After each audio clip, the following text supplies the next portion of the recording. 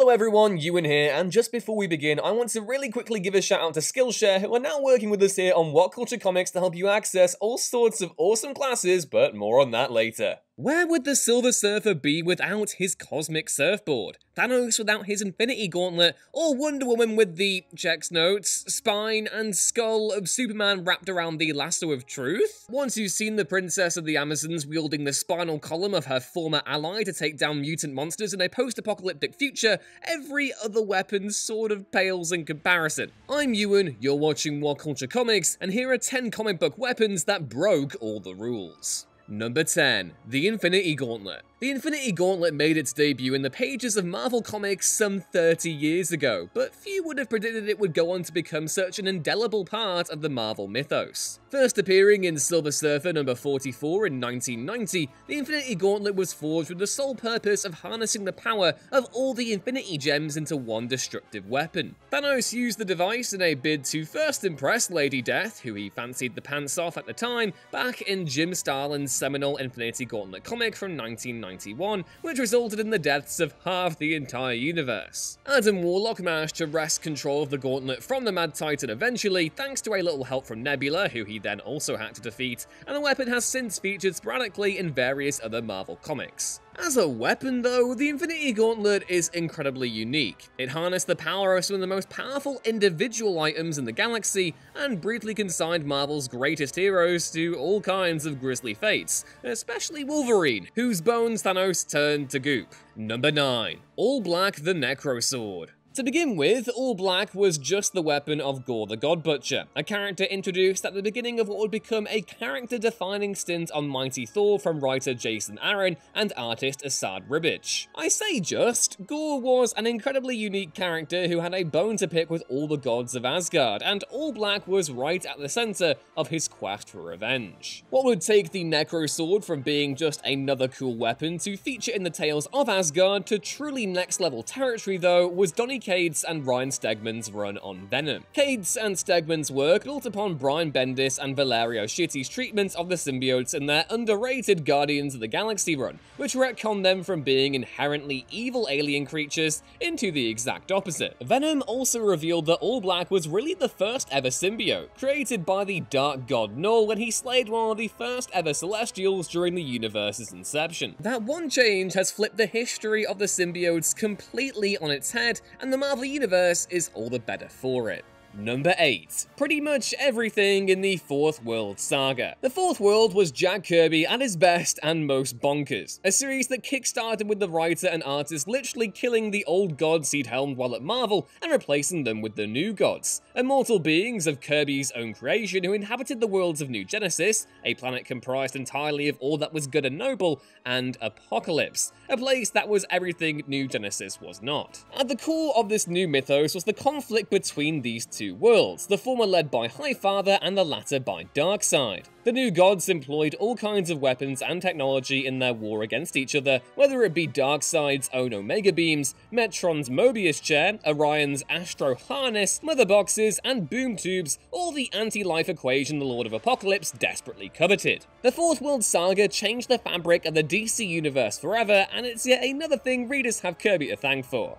Number 7. Hellboy's Right Hand of Doom. Anung Unrama has employed all manner of different weapons whether as a part of the BPRD or in his adventures after leaving the organization behind, but undoubtedly the coolest is his stony right hand of doom, which also happens to be the key that will usher in the apocalypse, no pressure. Hellboy's signature arm has often come in handy, please please please forgive me for that, and more so actually than the various firearms, swords, and ancient relics the character has also employed in combat. Go back through the original run of Hellboy books from Mike Mignola and colorist Dave Stewart, and you'll be treated to plenty of one-page spreads of the character decking his enemy in one punch. Plus, what could possibly be cooler than using the weapon that's meant to destroy the Earth to protect it? Well, maybe a few things, but not many.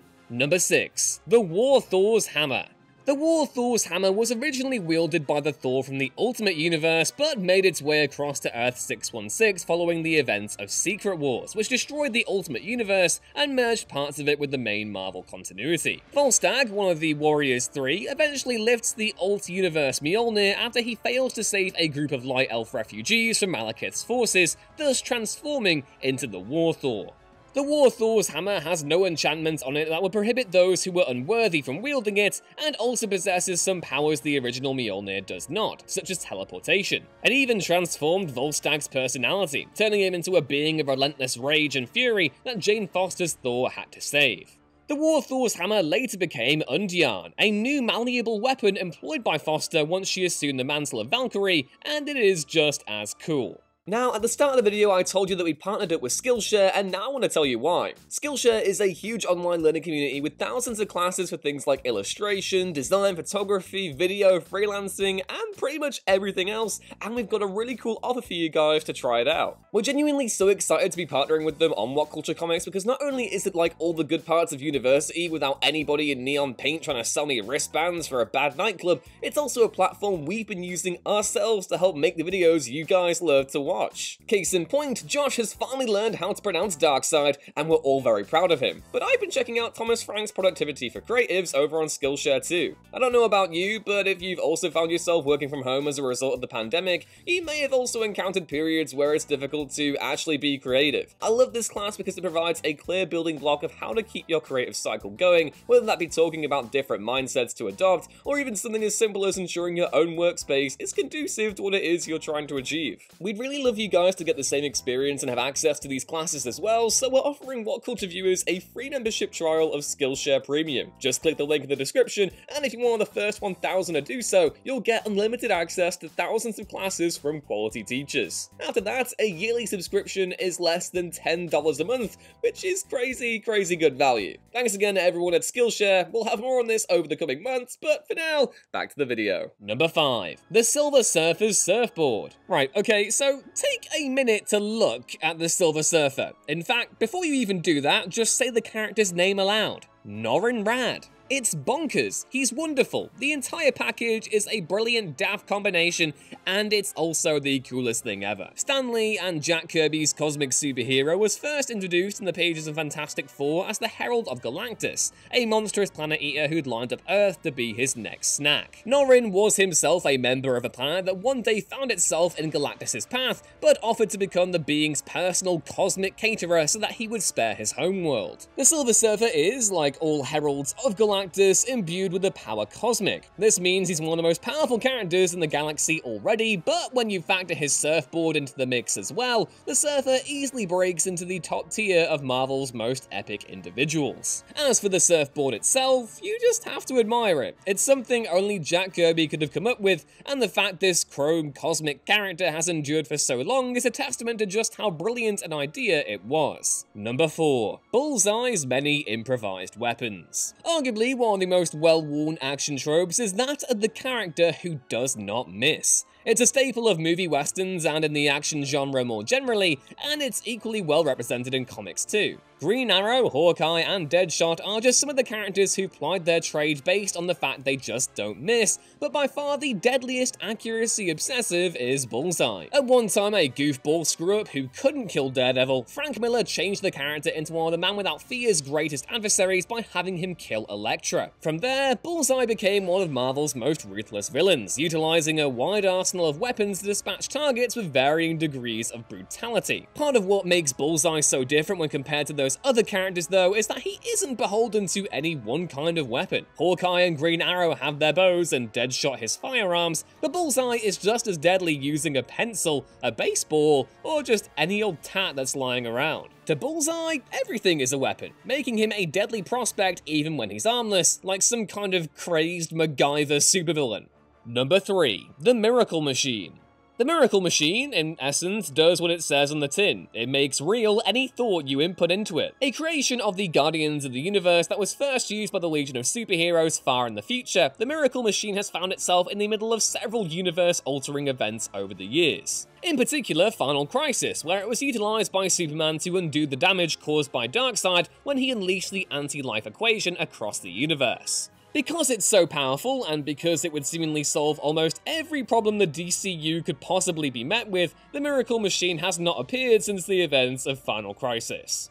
Number 2. Arm Fall Off Boy's Body, Legion of Superheroes. Speaking of the Legion of Superheroes, it would be remiss to make a list on comic book weapons that broke all the rules and to not include um, Arm Falloff Boy, whose entire powers are literally just being able to detach his arms and wield them like a meat club at his enemies. The character's first appearance came in 1989 Secret Origins number 46, where he auditioned unsuccessfully to join the Legion as the group began to recruit their first ever team. He enthusiastically demonstrates his powers, but leaves the interview dejected, which somehow also didn't lead to a career as the best supervillain ever. Now, tragically, um, Arm Falloff Boy was wiped away from DC continuity with Zero Hour Crisis in Time. His legacy is far stronger than any old retcon though, and the character has since been reimagined as Splitter, a figure who can not only detach their own arms, but their legs as well. Now that's character development. And number 1, Superman's Spine and Skull. DC's Black Label imprint has proven to be one of the publisher's best initiatives over the last few years. Some seriously great stories have been made that otherwise wouldn't have been in the traditional DC setup. Case in point, Wonder Woman Dead Earth, a terrific post-apocalyptic offering from Daniel Warren Johnson that sees Diana wake up in a future where the Earth has been ravaged by nuclear conflict. At times dispiriting, but also simultaneously hopeful, Johnson's comic cuts to the core of what makes Wonder Woman such a compelling hero,